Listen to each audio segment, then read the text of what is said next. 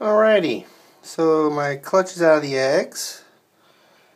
And we got some nice, see I'm not sure though. I mean, I don't know, we got this normal, we got this normal here.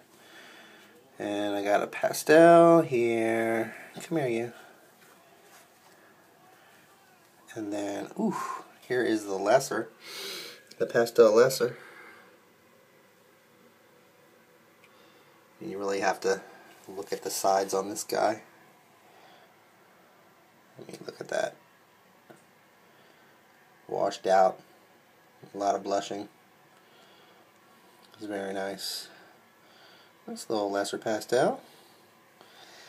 And these two guys, come here. You got a nice bee, a really clean bee. Come here. Come here, come here, come here.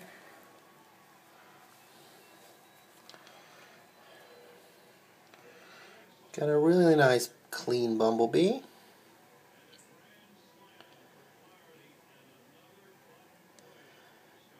Really clean. Really nice. Now these guys, I mean the head is telling me, oh, let me get the other one, he's open. The head's telling me queen, um, queen bee. But with the coloration, with the pattern, I don't know. This one's got a really cool pattern. Look at that really cool pattern right there. Guess they could be lesser, lesser bees. But they are really nice. Really nice. Look at the blushing on the sides there the pattern fading out.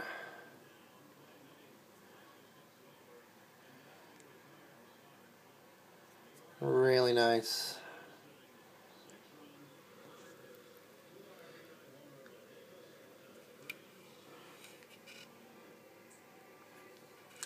It's kind of brownish. I don't know. What do y'all think? Queen bees or lesser bees? Because what I've seen, lesser bees Their heads are more brown. Where's your head? Come here. I mean, look how blushed out the pattern is, too.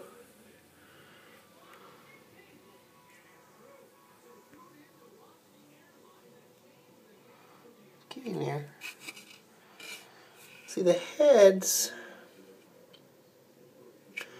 Now, where'd it go? Where it go? There it is.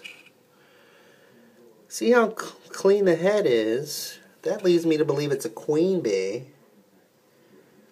Because from what I've seen, the lesser bees, the heads are uh, more brownish where the white is. It's kind of an off-white, so. I don't know. What do y'all think? Either way, it's an awesome clutch. Peace.